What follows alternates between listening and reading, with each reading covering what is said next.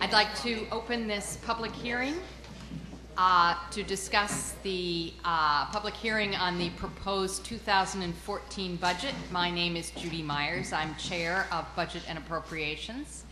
And with me this evening are several legislators, starting over at my right is Legislator Sheila Marcotte, Legislator Virginia Perez, Legislator Pete Harckham, Legislator Michael Smith, and legis- Legislator uh, Mary Jane Shimsky. So we understand that you have all filled out cards. What I will do is um, call up five at a time. And um, if you would just line up here over to the right, and then you have um, three minutes? Three minutes in which to speak, and we'll all be taking very, very rapid notes as you speak. So could we have Lisa Buck and Jean Blum, Roberta Goodman, Dennis Hanratty, Hanratty, Tim Fallon, and Eva Dolgen, please. First up, Lisa Buck and Jean Blum. Hi, everyone. Thanks for this opportunity to share some thoughts with you this evening. Again, I'm Lisa Buck, and I'm director of the Bridge Fund, and I'm here with Jeannie Blum, executive director of the Coalition for the Hungry and Homeless, and we're here as co-chairs of the Westchester Eviction Prevention Network.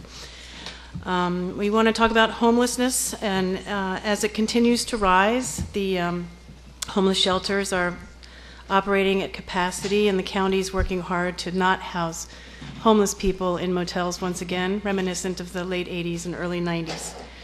There are close to 700 children in homeless shelters and emergency housing units at this time.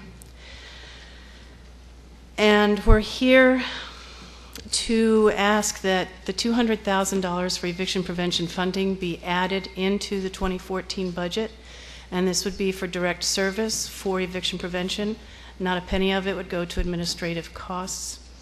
Um, and it would help keep hundreds of families in their homes um, in the next year. And as you know, homelessness prevention works, and it has for decades. And in fact, homelessness began to rise in 2012 when the federal recovery funding was um, put to an end, uh, and that was the homelessness prevention rapid rehousing. And as soon as that stopped, that funding stopped, homelessness started to rise again here in Westchester. Um, so that's all I have to say. And we would also thank you, Lisa. And we would also like to say that we are here in support of the Westchester Women's Agenda budget requests to urge you to reinstate funding for children's services, health care, and housing, with a special exclamation point on the adding the 200,000 for homelessness prevention services, which the Westchester Women's Agenda supports.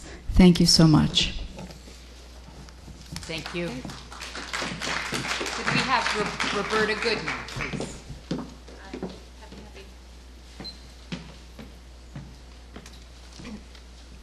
Good evening. Thank you. Um, I am Roberta Goodman. I am one of the staff attorneys at the Elder Justice Unit of the Pace Women's Justice Center, and we are proud members of the Westchester Women's Agenda. Our program is focused exclusively on providing free civil legal services for Westchester County victims of elder abuse. Many of our clients have multiple legal problems and we are their only access to redress.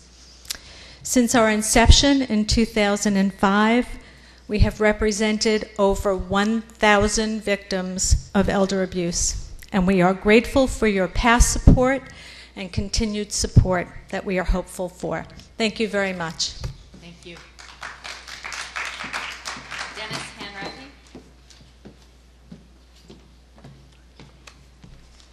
Madam Chair, members of the board, uh, thank you for entertaining us tonight. My name is Dennis Hanratty. I'm the Executive Director of Mount Vernon United Tenants, the only funded and staffed tenant association in Westchester.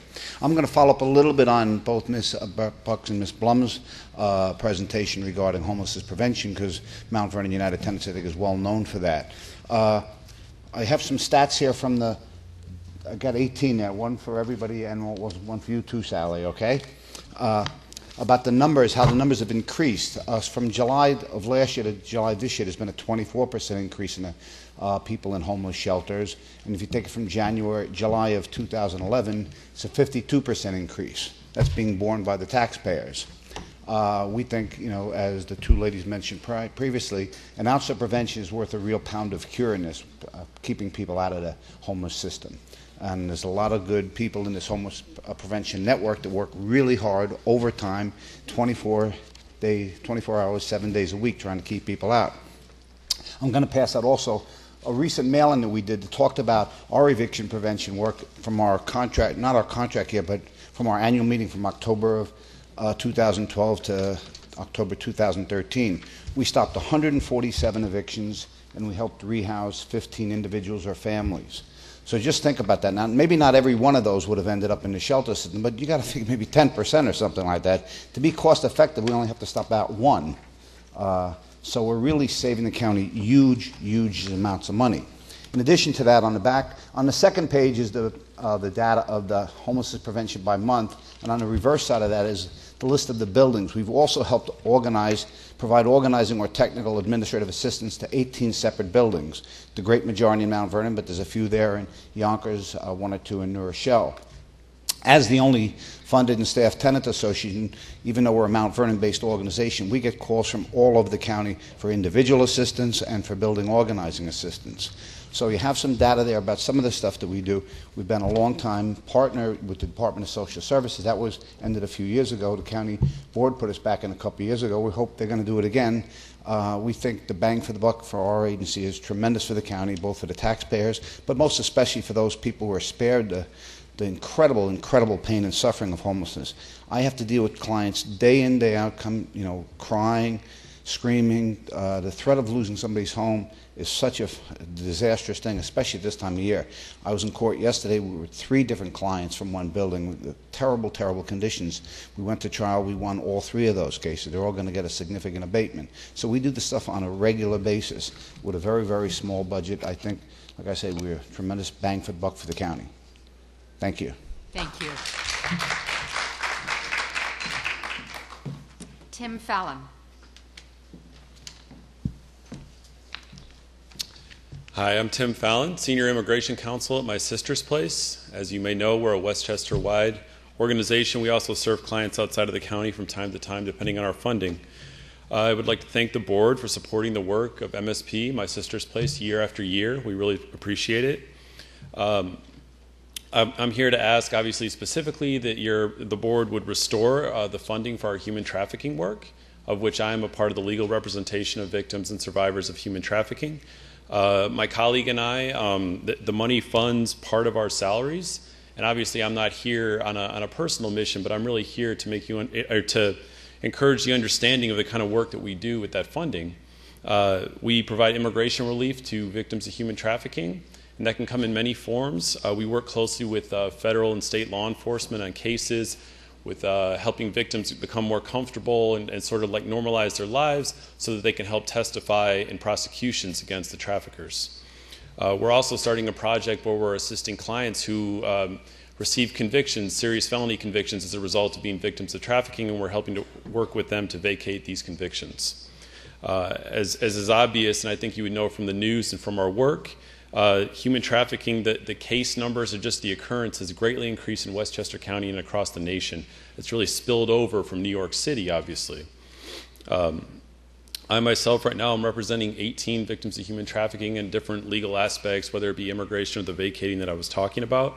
Uh, my colleague, um, who this the funding also supports, he represents 10 clients.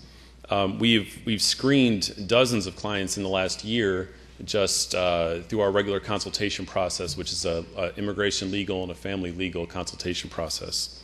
Uh, we're, we're doing training and outreach. I've spoken at conferences around the country on different forms of immigration legal relief for victims of trafficking. And I'd like to thank you for your support again, and I appreciate you having me speak. Thanks. Thank you very much. Eva Dolgen, and while Eva is coming up, could we have Joanne Mongelli, Jonathan Potter, Sally Pinto, Kathy Hallis, and T- Tyla Tilla Younger, please.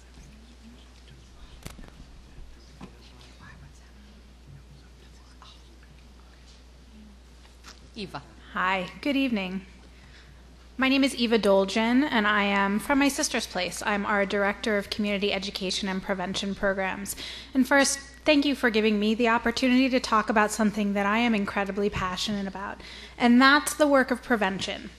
And the fact that the, the Board of Legislators has supported not only all of my sister's place work for so long, but the work of prevention is incredibly essential to us as my sister's place, and we believe to Westchester County in general. Um, and so, what does that do? Last year, with your $20,000, you are helping to support our domestic violence education and prevention program. And just to give you a sense of what my incredible four person staff did last year, just in 2012, they served over 5,000 youth. That's four people. four people doing an arrangement of healthy relationships presentations, eight week long sessions in middle schools, and really specifically, three intensive conferences. One that we coordinated kind of with agencies across the across the county called PrideWorks for LGBTQ and allied youth that I know you all are super supportive of. Um, one called Summer Institute, which is our week long kind of activist training camp where we really take youth from across the county, bring them into our offices for a week, and talk about what is domestic violence and how can you impact your community. And Love Shouldn't Hurt, which is one of our kind of best known initiatives. It's a one day conference. We work with about 320 to 350 high school students and their teachers, and we talk about teen dating violence and how they can bring this word out um, and spread information about what it means to be supportive and what it means to, sh- to have relationships built on respect. And so, what are we talking about? We're talking about um, a handful of people reaching thousands of kids. And we're talking about kids who give us feedback like, presentations from my sister's place lets me know that I can have relationships that don't have abuse. It lets me know that I can be res- a respectful partner, that I can be equal to someone, that I can make choices in my relationship, and that I deserve that, and that my sister's place is around if people need help. And that's what the work of prevention is. And that's why we care so much, because realistically, as Tim, my colleague, was just talking about, we can talk about the thousands of survivors that we're serving. I want to talk about the thousands of kids we're hoping don't need our services later, but rather are ambassadors ambassadors for people who are using power and, and control against a dating partner and saying, hey, that's not okay. And ambassadors, ambassadors to those who are experiencing it, saying, you have a place to go. Thank you so much. Thank you. Joanne Mongelli. Good evening. I'm Joanne Mongelli, Deputy Director of Arts Westchester. I want to thank you for your ongoing support for the arts and for recognizing how the arts enhance community, individual, and economic well being in the county. Um, I should also say, as an aside, that we partner with many human service agencies and we uh, recognize the importance of the women's agenda items. Well, we believe it is appropriate and important for the government to support the arts. We understand that it's not government's role alone. And that's why um, the funds that we distribute to agencies all across the county really represent a minute, minute part of any cultural organization's budget. It's also why we're asking for a add of $250,000 to institute a challenge for the arts. This challenge for the arts provides incentive money for individuals to give to cultural organizations.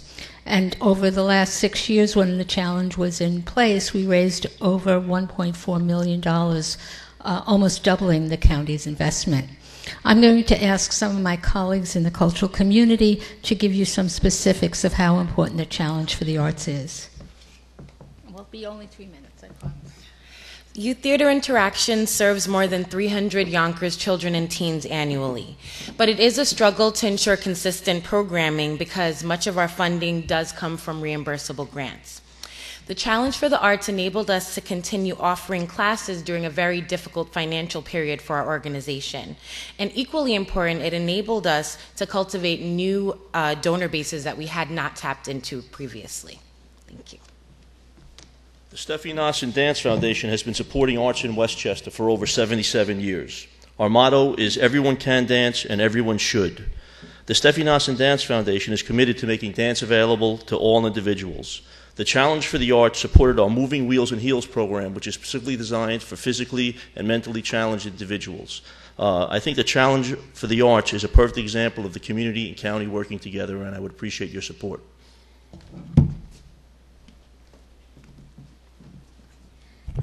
The Challenge for the Arts enabled the Yonkers Philharmonic to provide a free symphonic concert at SUNY Purchase. We filled 1,300 seats, mostly families who told us they could not afford to bring their children to a concert hall. This is a wonderful experience that we provide free, and the Challenge for the Arts helped us to provide it at SUNY Purchase instead of at Saunders Auditorium. The Blue Door Artists Association is a small grassroots arts organization that installs public art throughout Yonkers and operates a gallery in the heart of downtown Yonkers.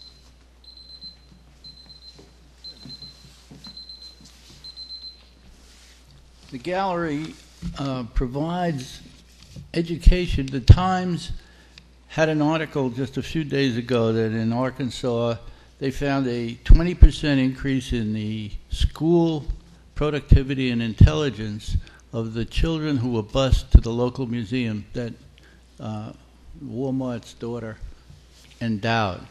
And uh, we've taken children from Yonkers down to the Met. We have contacts there. And uh, we're, we're uh, bringing more joy into people's lives, and we uh, need the unrestricted funds so we can grow our organization, that we can actually bring it to the attention of the rest of the county.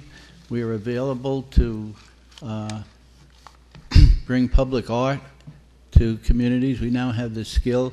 We've just decorated the promenade uh, next to the Hudson River with uh, sculpture, beautiful exhibit, and uh, we we want to be able to do that for the rest of the county and the growth fund is how to do it. Thank you. Thank you. Thank you.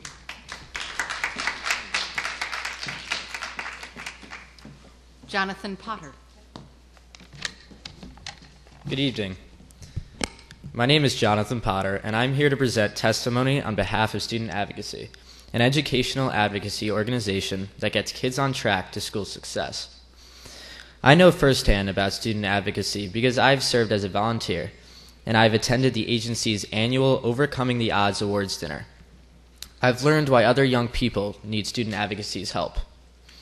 Currently, I'm in the 12th grade at Scarsdale High School, and I feel that my perspective can be helpful as you ask the question why is it so important for the county to continue to support services for kids? Without quality programs, whether it is specific communities or countywide, kids would be at much greater risk of dropping out of school, using drugs, joining gangs, and getting into serious trouble.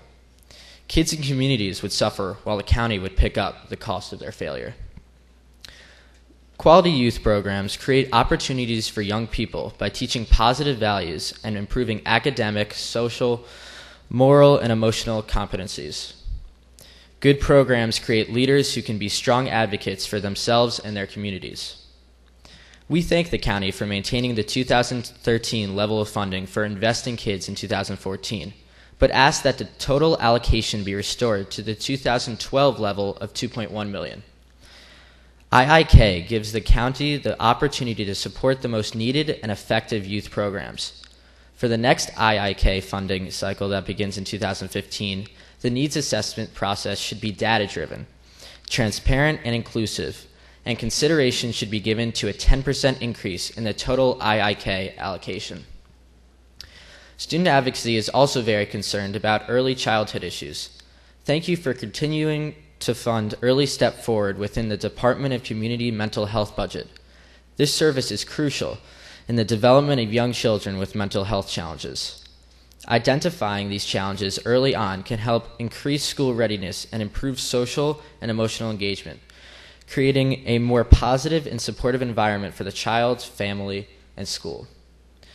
We also believe that the county would benefit greatly if you addressed affordable child care by making the parent contribu- contribution for child care subsidies no more than 20% of a family's over poverty income and opening up financial assistance for families over 200% of the federal poverty level. We also urge the county to continue and expand youth employment efforts by extending more employment opportunities and job readiness skills training to high school and even middle school students. Finally, as a member of nonprofit Westchester, Student Advocacy urges you to consider a 3% cost, cost of living increase to contracts with all nonprofits. Let's continue to support Westchester County youth through effective programs and services that give our young people the tools they need to succeed. Thank you. Thank you. Sally Pinto. Hello, my name is Sally Pinto, and I'm a resident of Yonkers. I'm also a program coordinator for JCY Westchester Community Partners, a nonprofit that brings older adult volunteers into our public schools, hospitals, and libraries to tutor, mentor, and mentor struggling students through our SMART, Reading Buddies After School, Introduction to America, Open Book, and Summer Reading Buddies programs. I would like to thank the Board of Legislator, Legislators for giving us this opportunity to comment on the budget. I hope you all have heard that Westchester County has been given the honor from Generations United and MetLife of being the best intergenerational community in the United States for 2013. So, congratulations. Many of our legislators have come to the New York State Intergenerational Network, known as NYSING, which we have spearheaded since its inception seven years ago in advocating on the economic and social value of intergenerational planning. The Westchester chapter thanks you for your support. JCY Westchester Community Partners has just merged with Family Services Society of Yonkers, FISSY. This merger provides the opportunity for us to serve even more students and adults. Every year, my agency educates, supports, mentors, and changes the educational experience of 7,000 students and 600 volunteers in 41 sites throughout Westchester County. Besides these impressive figures, we also have the quantitative and qualitative data to support our claim that we positively impact the education of our students. We need to educate our children, we need to engage our older adults, we need to bring the generations together. As I am the coordinator for the ESL Center at Yonkers High School and now the new ESL Center at Lincoln High School, I can tell you firsthand how important these programs are in giving students who are just arrived to the United States the assistance they need to succeed academically in this country. We also receive two Invest in Kids contracts. The programs that Invest in Kids provide offer positive in and out of school time opportunities for young people, increase school success, reduce juvenile crime, improve long term economic productivity, thus reducing societal costs. Incarcerating one teen- teenager costs about $240,000 per year. Prevention costs just a tiny fraction of this amount and helps youth and communities thrive. Keep our older adults living in Westchester County and provide opportunities for them to engage in our communities. Westchester County has the largest immigration of 60 plus populations in the state.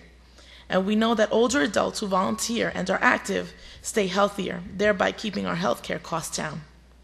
Intergenerational programs make economic sense. Educating our children makes sense.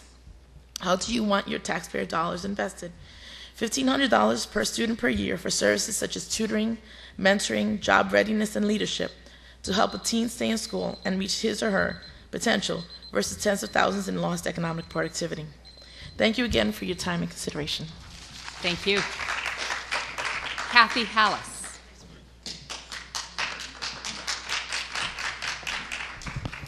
Thank you so much for the chance to speak with you.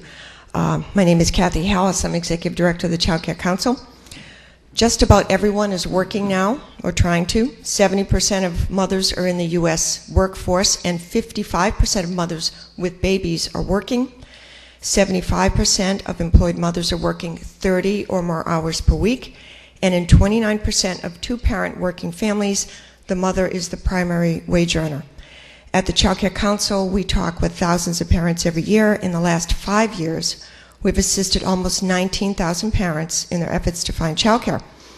In 2012, the over 3,500 parents we spoke with were working at over 1,700 employers, including Montefiore, PepsiCo, Westchester County, Columbia, IBM, JP Morgan Chase. So we know very well the struggles of families to afford the safe quality childcare they want for their children.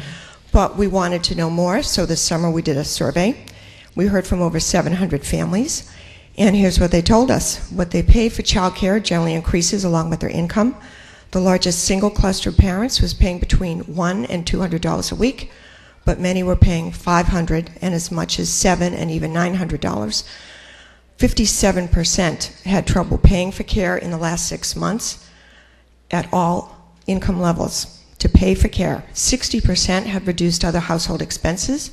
54% had borrowed money and or used credit. 34% modified their child care arrangements, and 12% reduced their work hours. Of those currently receiving the subsidy, 48% were having trouble paying their parent share, and 26 were 26% were behind. 69% had borrowed money and or used credit cards to pay for care. The single group having the most difficulty affording childcare were those folks around Title 20. We appreciate very much that the parent share is not 35%. 27% is better, but it's too high, and we need more Title 20 subsidy slots. Just to give you an example, a family of three with one child earning $40,000 cannot get a child care subsidy because the cutoff for that family is $39,060. The average cost of infant care in this county is over 16,000, which represents 40% of that family's gross income. So what happens? Well, one parent may reduce their work hours or stay home, thereby reducing their earnings, or they may put their child in non-licensed childcare, where chances are this child will receive little or no education, putting this child's educational future at risk. This is not an exaggeration, as the evidence is overwhelming that the achievement gap starts right away, and it does not go away without tremendous expense, and even then, not at all for many of our children. According to Ready Nation, a coalition of business leaders, children who don't get a good start can be 18 months behind a kindergarten, by age three, children from low income homes know half as many words. Uh, those not reading proficiently by grade three are four times more likely to drop out of high school.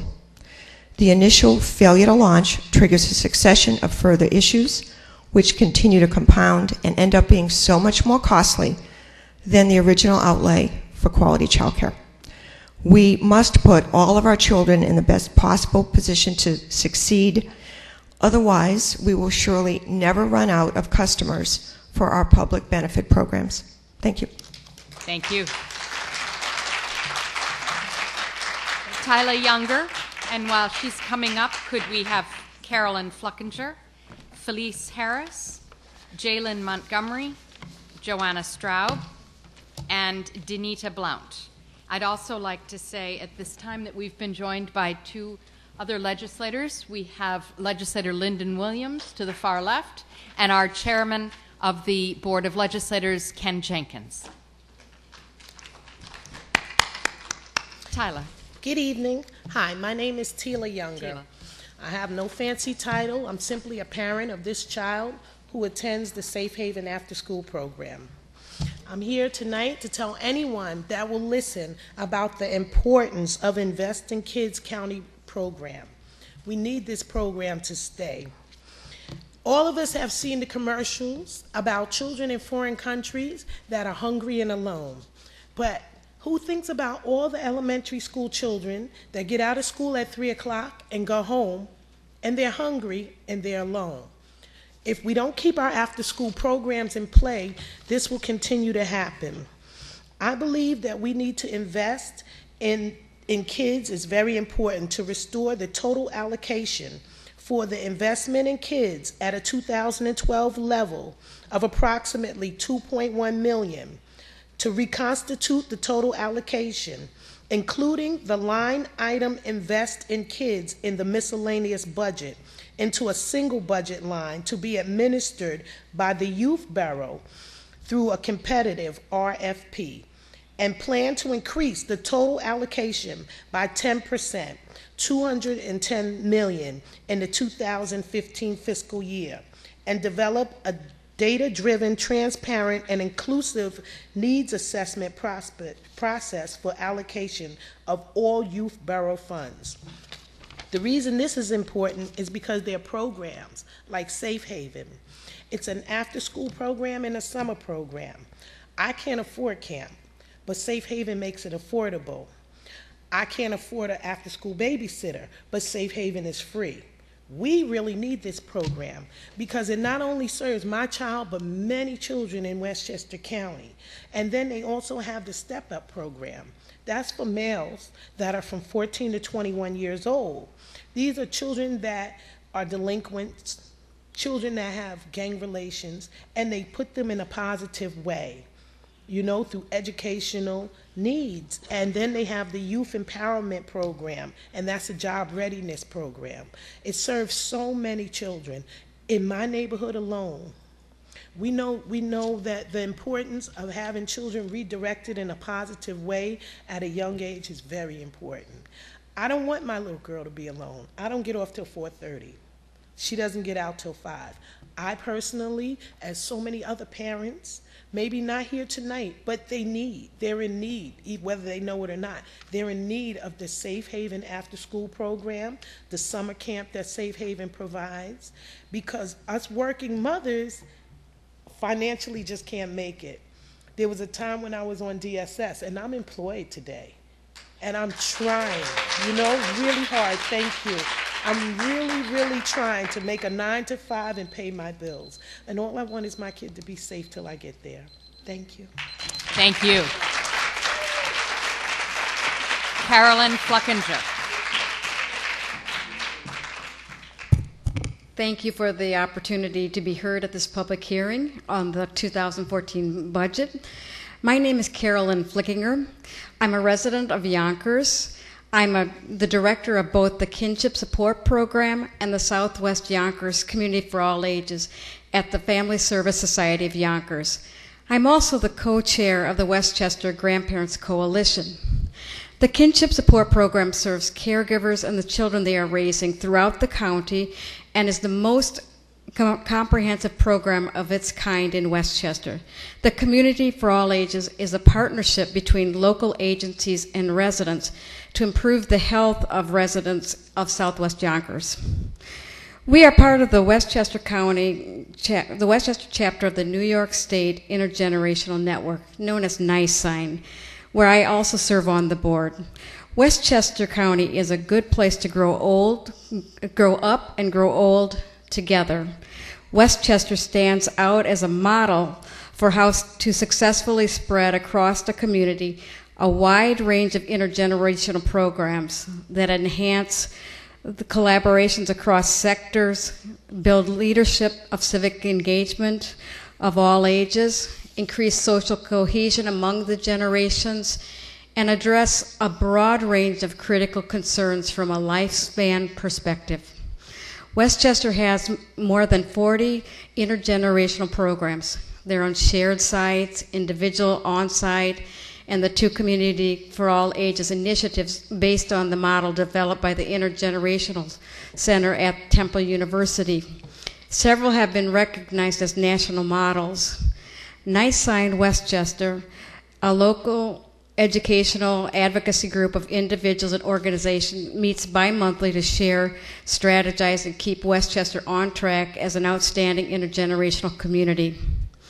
While you have heard just a little bit ago from my uh, colleague Sally Pinto, Westchester County has been selected as one of the top five intergenerational communities in the United States for 2013 by Generations United and the MetLife Foundation, a most prestigious national award.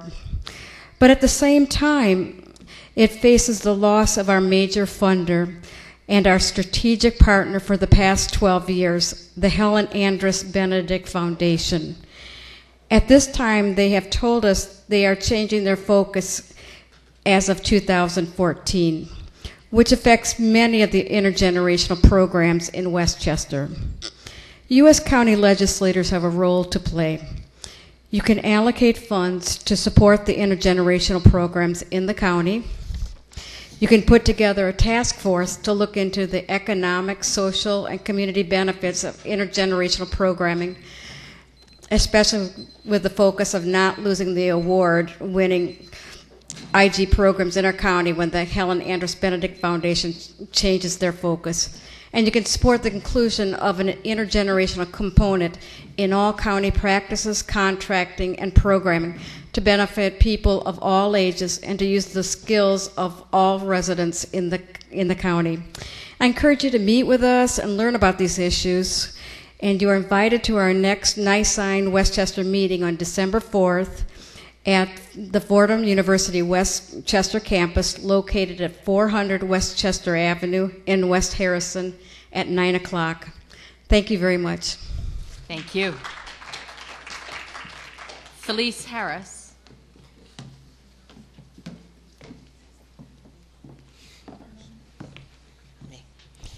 Hi, my name is Felice Harris, and I'm the director of Lands Learning Center here in Yonkers. And I'm obviously here in support of childcare. As the director, I see the struggles of our parents every single day. And we just have a very short message, and that is we'd like to see the parent share lowered, and we'd like you to create more slots for Title 20. And keep parents earning and children learning. My son is going to follow me with a few words.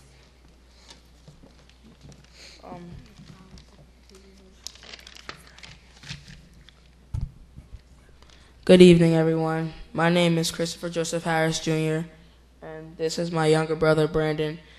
I want you to know that I'm a product. I'm a product of a strong early childhood education program. As a young child, I attended a great infant slash toddler and preschool program, as well as after school care. My mother, being fully employed in the field, needed a place for me and my siblings. She knew the importance of a quality program. I am so grateful for the start I got in life because today I am a member of the National Honor Society and I am a well adjusted junior high school student, a football player, and a basketball player. player. When I see television shows and I hear about current events, so many times I see boys who look like me, but they don't have the same life. They are not standing before a group of decision makers like yourselves. Many of them may have sagging pants and gang tattoos. They may be school dropouts and involved in a life of crime, and the story goes on. I'd be willing to bet that many of my counterparts in this situation probably did not attend an early childhood program because statistics show that children who attend early childhood programs are less likely to be victims of such social ills. So my guess is that you won't ever have to vote on it, but this county will spend money on these youth you will pay for youth detention programs.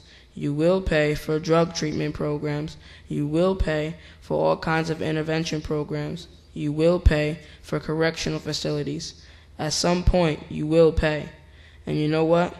You're going to pay a lot more than if you just vote now to help pay for early childhood education. Thank you for the space. Thank you.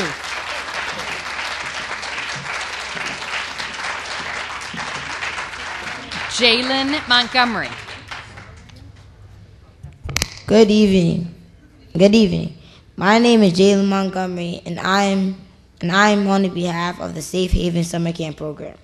Last summer was my first time attending the Safe Haven program. I had so much fun. I learned a lot. We went on trips every week.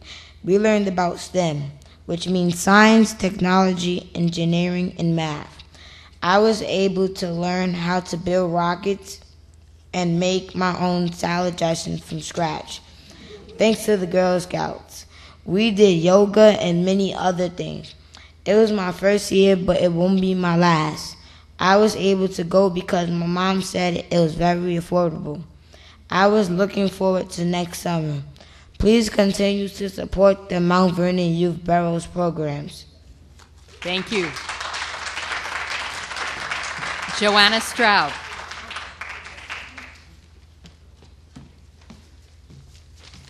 Good evening. My name is Joanna Straub. I'm the Executive Director of Nonprofit Westchester.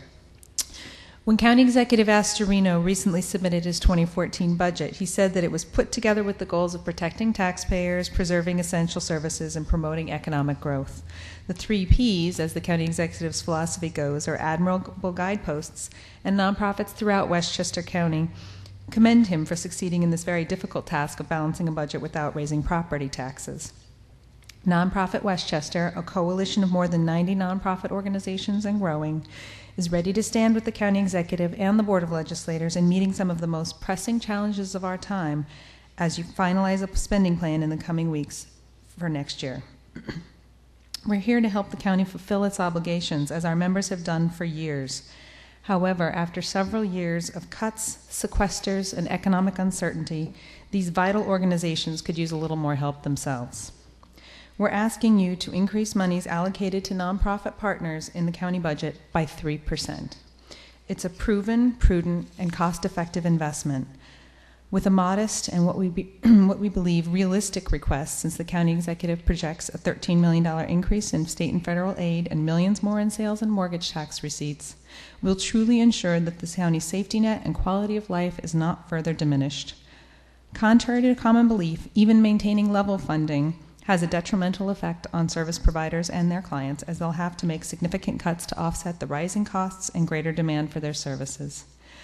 Those operational demands are on top of other losses in recent years when funding was sliced by millions of dollars for a wide range of groups, including those that provide food to the hungry, legal help for women experiencing domestic violence, health care for the working poor, child care for parents who work, and services like the arts and parks that enhance quality of life but cannot keep up with ever rising expenses.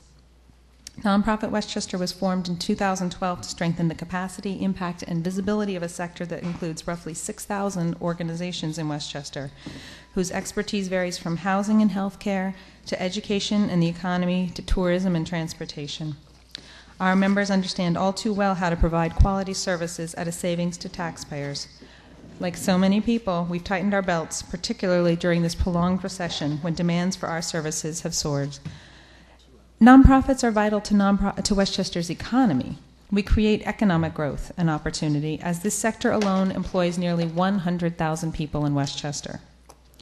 When all spending is accounted for, nonprofits generate a $23.5 billion impact in this county. That's money that's spent on food, housing, clothing, and basic necessities, and those dollars go right back into local communities and support local businesses. With results like this, it's no wonder that nonprofits are critically important to maintaining a wonderful quality of life and commitment to serving neighbors in need. We support the county executive's goals of protecting taxpayers, preserving essential services, and promoting economic growth. In fact, our members have shown that they are outstandingly successful in delivering on those promises. We're not only service providers, but taxpayers and concerned residents, and we care about Westchester County. Thank you for your time. Thank you. Danita Blount. And as Danita's coming up, could we have Betsy Ann, Jose Dolores Cruz, Anne Frey, Natasha Led- Ledger, and Ann Janiak? Danita. Good evening, everyone. My name is Danita Blount, and I am a licensed family group daycare provider. So much of hearing that there's a strong need for proper child care for our children. And not only am I a provider, I'm a mother, a concerned mother. So many times I see my parents coming in struggling, trying to make their way, trying to pay their co-pays. The co-pays have just gone so high for them. I've had families leave, and my biggest fear is are the older children watching the younger children because they just cannot afford to send them to daycare, work, and take care of their own personal needs, such as food, shelter, transportation, getting their own children to school. It's not sad to see, it's painful to see when the children are taken out of good child care and they don't have the social skills that they need when they enter into school. Many of the children that do stay at my facility, I see when they go to school they progress, and those that leave, I see they regress. And that's a sad thing. Because as the young man said, if we don't take care of them now, we will end up taking care of them later. So I'm encouraging you to please lower the copay back to 20% and restore Title 20. This year alone, I've lost five parents because Title 20 is no longer available. So that means five families without care. That means possibly five families who had to lose employment, who had to lose some type of way of living because they just could not afford a safe place to send their child. So I thank you for your cooperation, and I do strongly encourage you to consider the children. Thank you. Thank you. Betsy Ann.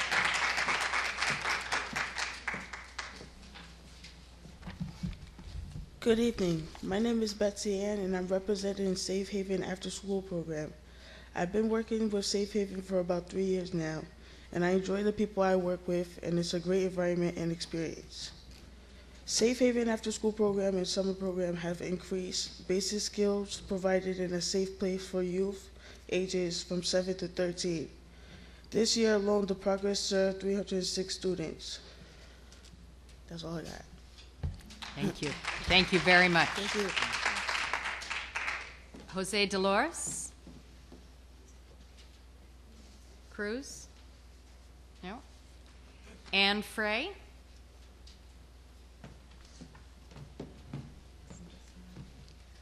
Good evening. Uh, I'm Ann Fry. I am the Director of Volunteers at the Wartburg, and I am a member of the Mount Vernon Youth Bureau. Um, I think you've already heard from some of the members of Mount Vernon Safe Haven, and they've spoken eloquently how we need to continue with the after school program. We also, um, the Step Up program and the GEM program, which is Girls Empowerment. Um, we have the Saturday STEM program, which is really important for our young people. But I'm really here to speak about the youth employment. Um, that's how I got involved with the Youth Bureau. I have summer youth come and work at the Wartburg, and I was so impressed with the quality of young people that I decided that I had to reach out and help some more. And each year that I've been there, we've had fewer and fewer students. And it's such a shame because I'm also involved in the interviewing of these young people. There are hundreds of people who come and young people who come to be interviewed. And I wish that we could take them all. It is so hard to whittle down that number because they have all such potential. Um, and one of the one of the key development milestones for teenagers is beginning experience in the workforce. Work experience not only helps teens explore future career options and earn much needed funds, but it also cr- builds crucial skills su- such as organizational time management and cooperation. I see that all the time with the young people, how they interact with our seniors, how they are with the staff. It's truly a building experience for them all. I also want to give a plug for the Youth Shelter of Westchester, which will be coming up soon to speak. Uh, they too do community service at our site every day. So the young people have an awful lot to offer us, and we have to give back to them. Thank you very much. Thank you. Natasha Ledger. And while Natasha's coming up, we've been joined by legislator David Gelfarb. Oh. Down there. Oh, hey. And legislator Alfreda Williams. Hello, everyone, and good evening. My name is Natasha Ledger, and I am a very humble parent who's asking you to please continue investing in Safe Haven. Safe Haven is a place where my son loves going and make sure that he's there every day. I have to tell you about what I've noticed. I've seen him grow into be a strong young man, a respectful young man. I've also seen him improve in his academic and social skills, but most importantly, his communicating. He's now able to communicate when he's having a problem as opposed to lashing out and trying to resolve that problem in a very different way. His respect level has improved. He has become adorable child and i am as a parent so grateful to know that he is well taken care of while i'm still at work. The people there are so nice and so honest with me with feedback with helping me help him with his homework. So again thank you for investing in the past and please continue to do so. Thank you. Ann Janiak, and while Ann is coming up, could we have Damian Graham, Tyrick Harris, Justin Ayala, and Brittany Henderson? And if Jose Dolores Cruz is here, please come up as well. Okay, Thank good you, Ann. evening. I'm Ann Janiak, and I'm the Executive Director of the Women's Enterprise Development Center, and I'm here tonight representing the Westchester Women's Agenda. We thank you for holding this public hearing, and we thank each of you for the time and attention that you have directed to our core and interrelated issues during the past few years economic development, housing and homeless prevention, violence against women, health and mental health, children's services, legal services, civil legal services, and immigrant services. The administration and the board have challenged us to document our needs, to justify our costs, to find efficiencies, and to collaborate further. And we have done so. We are pleased to be here tonight with a much shorter list of requests to restore than in prior years. And we thank the administration and the board for working toward a 2014 budget that is fiscally responsible and provides for safety net services. We're also pleased that many of our issue areas are budgeted with a 3% increase, the first in many years. However, there are certain unfunded or underfunded safety net services to which we direct your attention and ask that you work with the administration to approve a budget that addresses them. In the housing area, we ask you that you provide funding for eviction prevention so that individuals and families can remain in their homes and that the county can avoid the cost of homelessness. Also, in the housing area, we ask you to restore funding for technical assistance to develop affordable housing uh, to its 2012 level. A small investment in technical services generates hundreds of housing units for low and moderate income individuals. In children's services, we ask you to support this critically important issue. Research has shown that lack of high quality early childhood learning opportunities raises future costs to taxpayers of remedial, remedial education, school failure, and lower economic productivity.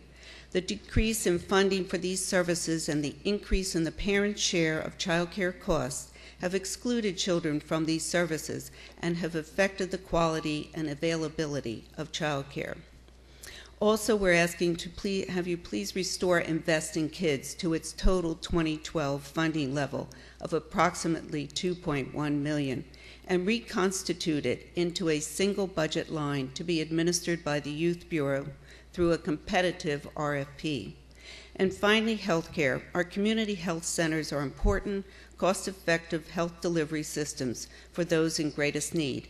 Their locations are dispersed throughout the county, and their hours are responsive to the needs of individual patients.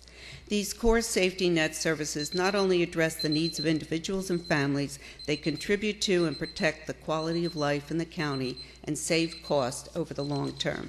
Thank you. Thank you. Damian Graham.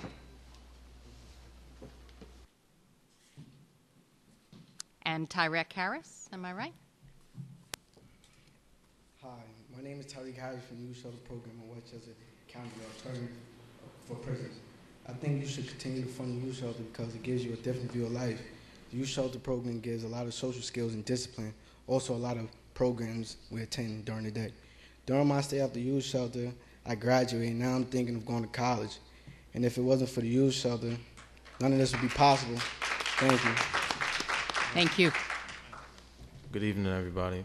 My name is Damian Graham. I'm also from the Youth Shelter Program in Westchester. And out of out of many opportunities, I could say truthfully that I missed out on. The youth shelter has been a great opportunity to give me a a peace of mind. I'm not going into college. I'm only in 11th grade, but I'm actually going for a high school diploma now. And if I wasn't in the youth shelter, thank you. If I wasn't in the youth shelter, it would just be I'd just be living regretful and everything, you know. But if you will fund the youth shelter, I would appreciate. Will continue funding the youth shelter. I would appreciate it because I want this program to live long after I'm I'm gone and hopefully help kids just like me that was in need of a, a second chance. Thank you. Appreciate it.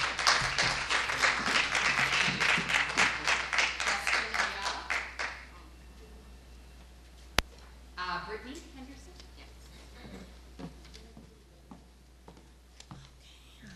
Good evening. Um, first, thank you for the opportunity to speak my situation. I'm here actually um, not fully prepared, but just to speak and to uh, piggyback on some of the uh, speakers previously, um, Ms. Kathy Hallis, as far as uh, restoring funding for the Title 20 child care programs. Um, I am a mother uh, of a two-year-old, and uh, before, um, you know, I didn't really plan.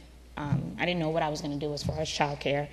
Um, so a relative was taking care of him, and I was able to find uh, childcare in my neighborhood, and it is very expensive. Um, I mean, I've made several sacrifices. Do I pay the light bill or pay for childcare? Do I pay for my cell phone bill or pay for childcare? And in the event um, when there are things you can't plan for, such as a, a, a car repair, you know, you, you need to be safe in your car, but you also have that ob- that obligation to pay the child care. Um, the the fee is definitely very expensive, but the child care program that he's in, Little Blessings of New Rochelle, um, he um, I- I've noticed a dramatic change in him from when he was with my relative to him being in the program, and that's my motivation alone to continue to just do what I have to do to pay. Um, however, it is a struggle. Um, it is a struggle to um, try to, to, to pay what I need to pay and send my child to somewhere safe, you know, not just somewhere that he's being watched as opposed to being taken care of. Um, I don't I, I just I have a serious passion to just make sure my, my son can maybe stand up here one day and, and to speak like some of the young men that spoke before me.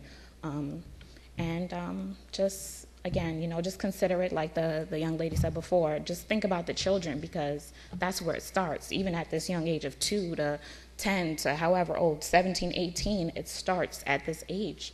And to um, just put him in a program that's not really, or not even a program, but just to have him somewhere just for the time being, whilst, you know, and not really being uh, taught, so to speak. Um, I feel like it, it, it's, it's, it's definitely important um, to try to um, increase those program, uh, the uh, Title 20 openings if possible. Um, thank you for your time. So anybody like now have an opportunity to fill out a card, or anyone who would like to come up and who did not fill out a card, and we're still looking for Jose Dolores and Justin Ayala, neither of whom are here. Anybody who didn't fill out a card but would like to come up and speak? All right, thank you all for coming out on this awful evening. Uh, we appreciate it, we, we very much appreciate hearing from you as we go through this process, and you are really very, very valuable to us as, as we move forward. So thank you for taking the time out and coming up and speaking with us. Have a good night, get home safely. Hey folks, if we could all pass our nameplates down, I'll help Sally a little bit.